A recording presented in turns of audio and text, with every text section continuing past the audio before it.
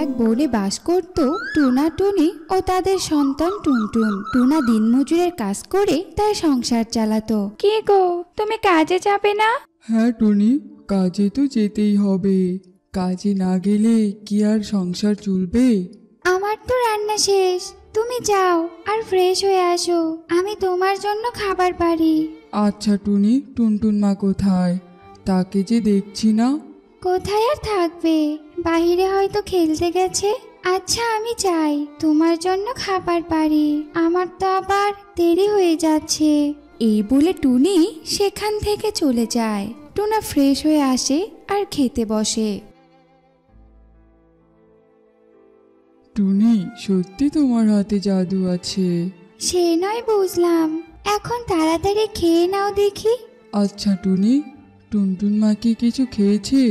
সে আর বলতে তোমার মেয়ে সকালে উঠে খাওয়ার জন্য চেঁচামেচি শুরু করে দেয়। তাকে খাবার না দিলে কি আর আমার রক্ষে আছে? তার জন্যই এই সাত সকালে উঠে আমার রান্না করতে হয়। সে তো ভালো কথা।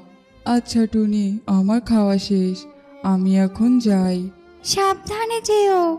এরপর টোনা তার কাজে চলে যায়। সন্ধ্যায় কাজ শেষে টোনা বাড়ি ফিরে আসে। টুনি? ও টুনি। তুমি এসেছ? আজ হঠাৎ এত তাড়াতাড়ি আসলে যে? হ্যাঁ টুনি আজ কাজ তাড়াতাড়ি শেষ হয়ে গেছে। তাই আর দেরি না করে বাড়ি চলে আসলাম। টুনি এই নাও আমার আজকের কাজের বেতন। এটা দিয়ে আমি কি করব? এটা বরং তুমি তোমার কাছেই রাখো। আর কিছু বাজার করে আনো। ঘরে যা ছিল তা তো শেষ হয়ে গেছে। আচ্ছা টুনি তুমি বরং আমাকে যা যা আনতে হবে তার একটা লিস্ট বানিয়ে দাও। কাল না হয় আমি কাজ থেকে আসার সময় বাজার করে আনব। সে নয় দিব। এখন তুমি যাও তো আর হাত মুখ ধুয়ে এসো। ওইদিকে আবার আমার কাজ পড়ে আছে আমি যাই। এই বলে টুনি চলে যায়। এইভাবে সুখে শান্তিতে দিন কাটছিল টুনা টুনির তবে একদিন টুনা অসুস্থ হয়ে পড়ে। কি গো? তুমি এখনও শুয়ে আছো যে? আজ কাজে যাবে না বুঝি? আসলে টুনি আমার শরীরটা খুব খারাপ লাগছে। এরপর টুনি টুনার কপালে হাত দিয়ে বলে এ কি? তোমার গা তো জ্বরে পুড়ে যাচ্ছে। টুনটুন এই টুনটুন। কি হয়েছে মা? মা একটা বাটিতে করে পানি আর পাতলা সুতির কাপড় নিয়ে আয় তো। তোর বাবার যে জ্বরে গা পুড়ে যাচ্ছে এখনই যে জলপটি দিতে হবে। আমি এক্ষুনি আনছি মা। এরপর টুনটুন একটি বাটিতে করে পানি আর সুতির একটা কাপড় নিয়ে আসে।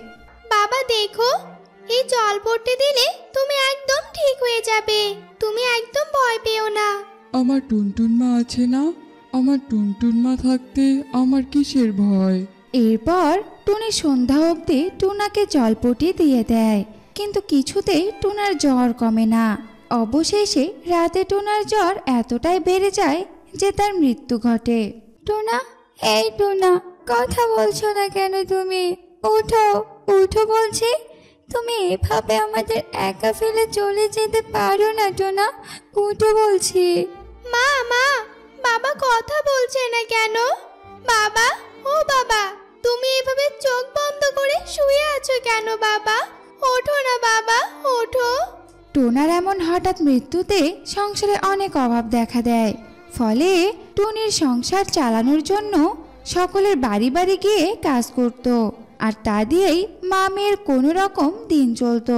একদিন সকালে মা মা আমার জন্য আজকে আম নিয়ে আসবে? আমার না আম খেতে খুব ইচ্ছে করছে। মারে আমি তোর জন্য আম কি করে নিয়ে আসব বলতো? এখন বাজারে আমের যে দাম সে দামে যে আমার পক্ষে আম কেনা সম্ভব না রে। তুই তো জানিস অন্যের বাসায় কাজ করে কোনো রকম আমাদের দিন চলে। বুঝেছি তুমি আমায় আম এনে দিবে না। বাবা থাকলে বাবা ঠিক আমায় আম এনে দিত। এই বলে টুনটুন রাগ করে সেখান থেকে চলে যায়। এই মেয়েকে নিয়ে হয়েছে আমার জ্বালা। এখন আমি ওর জন্য আম কি করে আনব? দেখি কালু দাদার বাড়ি যাই। যদি কালু দাদার কাছ থেকে কিছু টাকা ধার নিতে পারি? কালু দাদা ও কালু দাদা ও মা টুনি যে তো কি মনে মনে করে আমার কাছে? কালু দাদা আমার মেয়ে আবদার করেছে আম খাবে। কিন্তু আমার অবস্থার কথা তো তুমি জানোই। তাই বলছিলাম কি আমায় তুমি কিছু টাকা ধার দিয়ে সাহায্য করবে আমি পরে তোমার টাকা ঠিক দিয়ে দিব। টুনির এসব কথা শুনে কালো কাক মনে মনে বলে তোমাকে টাকা দিয়ে আমি বিপদে পড়ব নাকি? নিজেই চলতে পারে না সে আর আমায় কি টাকা দেবে? কি গো কালু দাদা কিছু বলছো না যে? আসলে টুনি কি আর বলি? আসলে টুনি কি আর বলি? আমার কাছে যা টাকা ছিল তা তো আমি আজই খরচ করে ফেলেছি। তুমি কাল আসলেই হতো। আচ্ছা কালু দাদা আমি তাহলে আসি।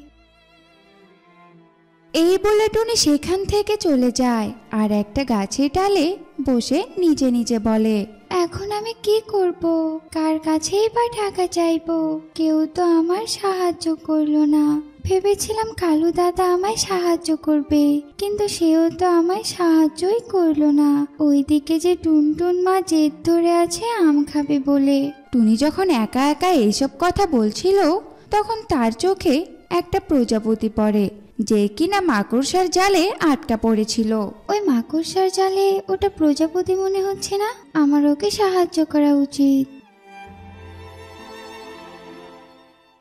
এরপর টুনি সেই মাকড়সার জাল থেকে প্রজাপতিটিকে বের করে।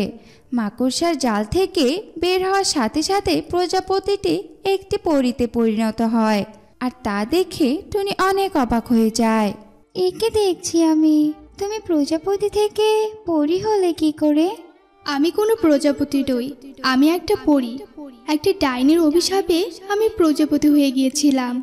আর বনে উড়তে উড়তে এই জালে আটকা পড়ে যায় কিন্তু তুমি আমি অভিশাপ থেকে মুক্ত করেছ আর আমার জীবনও বাঁচিয়েছ। আমি যে তোমার জীবন বাঁচিয়েছি সে কথা তো বুঝলাম। কিন্তু আমি তোমায় কি করে অভিশাপ মুক্ত করলাম? ডাইনি আমায় বলেছিল যদি কোনো সৎ মনের পাখি স্বার্থ ছাড়া আমায় সাহায্য করে তাহলে আমি আবার আমার আগের পরিরূপে ফিরে আসতে পারব। আর তার পরের সব ঘটনা তো তুমি জানোই। এখন আমি সব বুঝতে পেরেছি। আচ্ছা পরি আমি তাহলে আসি। দাঁড়াও টুনি আমার তোমাকে কিছু দেওয়ার আছে।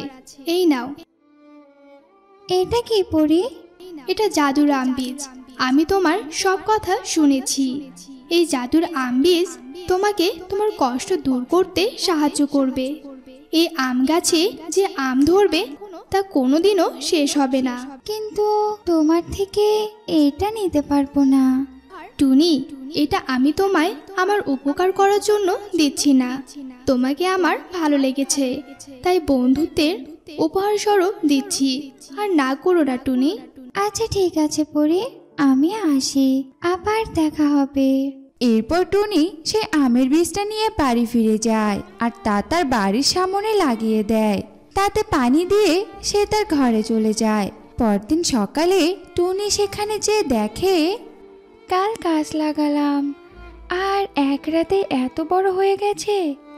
এতে তো অনেক আমও ধরেছে দেখছি। পরি ঠিকই বলেছিল, এটা জাদুরাম গাছ। টুনটুন, মা টুনটুন এদিকে আয়, দেখে যা। হয়েছে মা? আমায় ডাকছো কেন? টুনটুন তুই না আম খেতে চেয়েছিলি? এখন তোর যত খুশি তুই আম খা। এটা আমাদের আম গাছ। এরপর টুনটুনের যখন আম খাওয়ার ইচ্ছে করত তখন সে সে আম গাছ থেকে আম পেরে খেয়ে নিত। অপরদিকে টুনি সেই আম গাছের আম বিক্রি করে তার সংসার চালাতো। এভাবেই তাদের দিন সুখে শান্তিতে কাটতে থাকে।